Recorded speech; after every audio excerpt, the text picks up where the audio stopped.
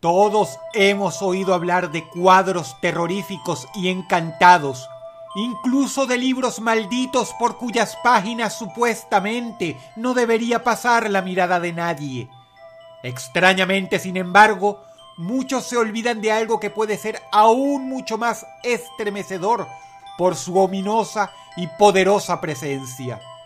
Las estatuas y la mayoría de nosotros desconoce que hay algunas que son total y absolutamente escalofriantes. Hoy, desde la horrible séptima hasta la peor de todas allá abajo en el primer lugar, las vas a conocer una a una. Prepárate pues porque estas son las siete estatuas más terroríficas del mundo.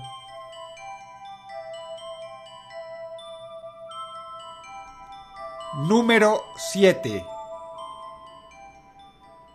¿Qué mejor manera de abrir las puertas a este oscuro top que hablando del adversario final, el más maligno, el más terrible, Lucifer?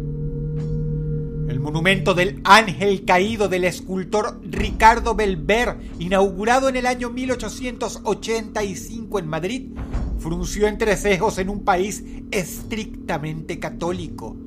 Sin embargo, España supo entender muy bien el valor artístico de la escultura y lo que significaba realmente en palabras del propio escultor, cuya inspiración fue El paraíso perdido, un clásico de la literatura inglesa del siglo XVII.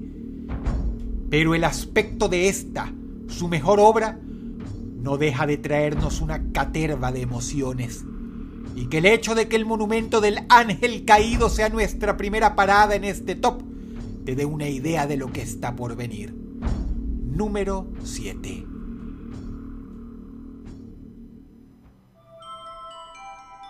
Número 6. No caben dudas de que la francesa Louise Bourgois fue una artista fascinante. Ella tuvo la oportunidad de hacer lo que muy pocos seres humanos, aun con las imaginaciones más oscuras, se atreverían.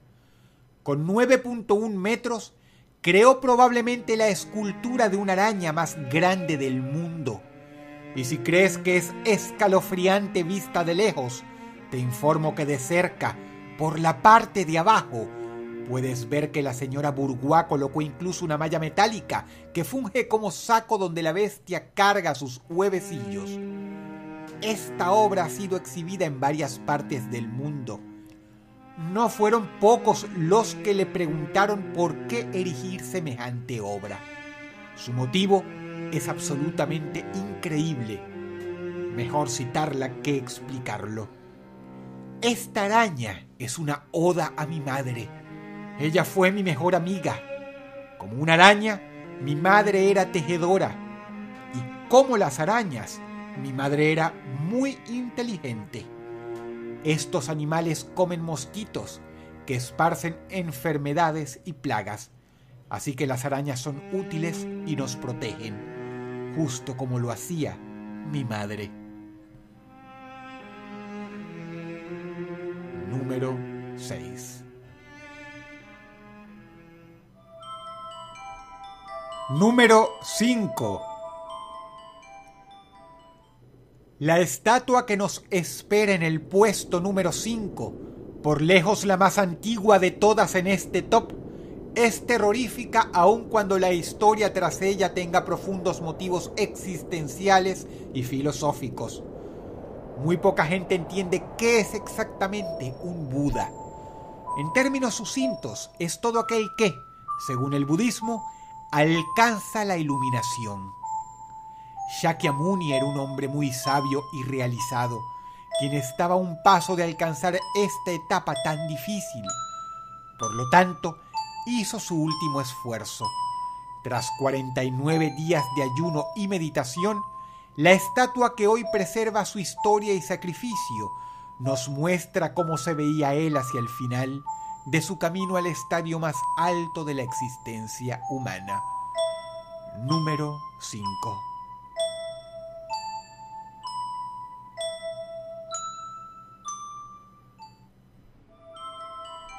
Número 4. La siguiente escultura traumatizó al escritor Mark Twain cuando era joven. En los viejos tiempos, las torturas podían llegar a ser brutales, temas pesadillescos que narran el incombustible talento humano para la crueldad. Y quizá el mejor ejemplo de ello fue lo que le hicieron al apóstol Bartolomé. Astiages, un rey armenio, furioso porque Bartolomé se había convertido al cristianismo, le ordenó que se arrodillara frente a los dioses paganos. Ante la negativa del apóstol, el regente ordenó la más cruel de las muertes, el desollamiento. Aquí ves un cuadro de San Bartolomé sosteniendo su propia piel, pero incluso esta representación palidece ante la terrorífica obra del gran escultor Marco de Agrate que, durante siglos, ha sido alabada por ser anatómicamente correcta. La estatua del apóstol San Bartolomé desollado es absolutamente pesadillesca.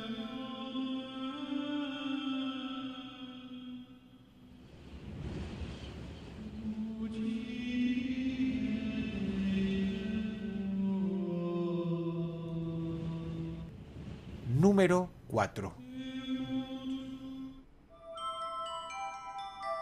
Número 3.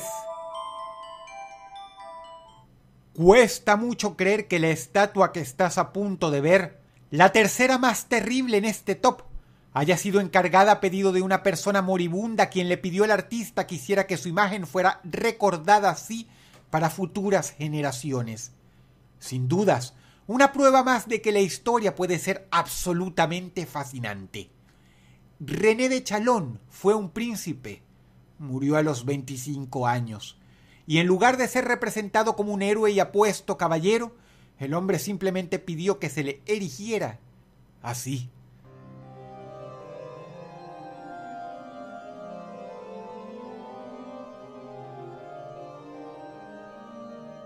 En medio camino entre la descomposición y los huesos. He aquí el nombre en idioma francés de la estatua, transi, el cual deriva de transición.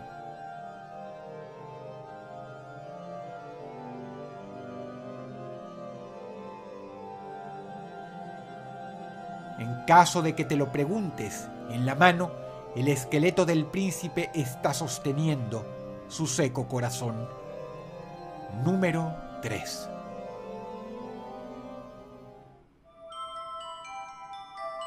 Número 2. Humildemente uno hace su mejor esfuerzo por entender tanto al arte como a los artistas. Una prueba de ello fue la obra de Luis Bourgois que vimos en el puesto número 6. Pero lo que está aquí, el gran lugar teniente de este top, será sin dudas inexcusable para muchos. Por ello, tantos los que sí toleren todos los motivos del arte, como por otro lado los amantes de lo mórbido, contentémonos pues de que al señor Damien Hirst le hayan dejado hacer Verity, una estatua de 25 metros que luce así.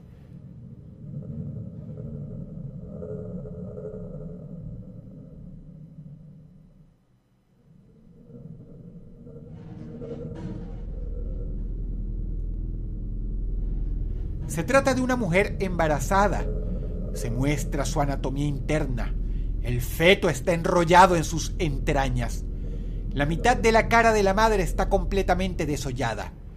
El señor Hirst dice que su obra es una oda a la verdad y una alegoría moderna de la justicia. Sea como sea, vigila las aguas del puerto de Devon en Inglaterra, y en días grises y nublados, lo primero que ven los marineros al llegar al muelle es esto Piensa en ello. Número 2.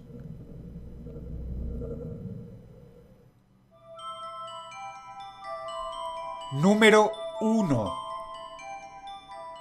El artista que erigió la gran estatua que se quedó con el puesto número 2, Damien Hirst, es sin dudas estrafalario, como también lo es el señor Chen Wenling, autor de la obra que estás viendo ahora mismo pero es el trabajo de un hombre llamado David Cerny quien se lleva el gato al agua y se queda con el primer lugar.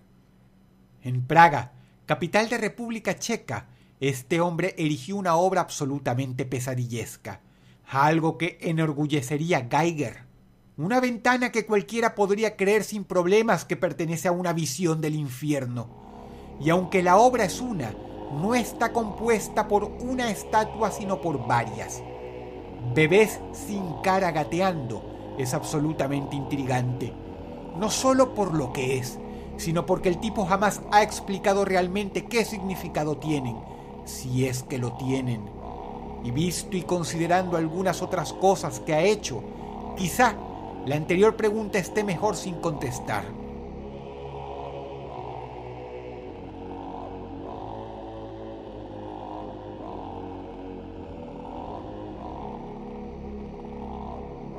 De lejos, las estatuas más pesadillescas y mórbidas de toda la lista. Número 1. Si el video te gustó, por favor dale pulgar arriba y compártelo con tus amigos. Suscríbete a mi canal si quieres ver más videos así y no te pierdas hoy Voces Ocultas.